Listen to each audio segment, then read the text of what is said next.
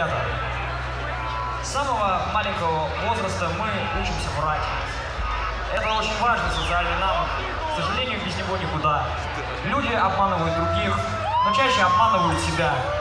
В том числе и по поводу того, какова их ложь в глаза окружающих.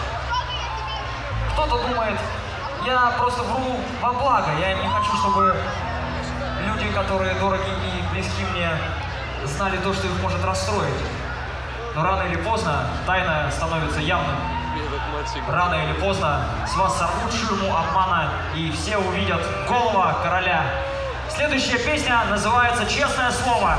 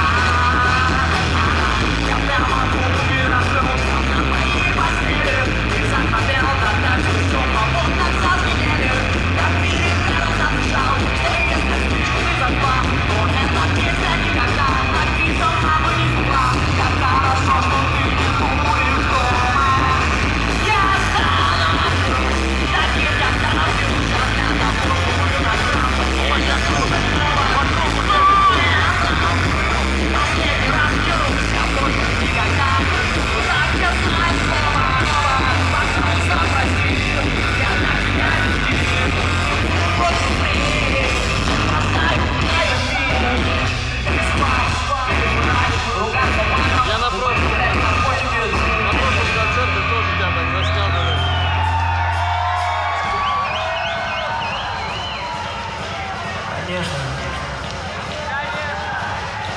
Конечно же.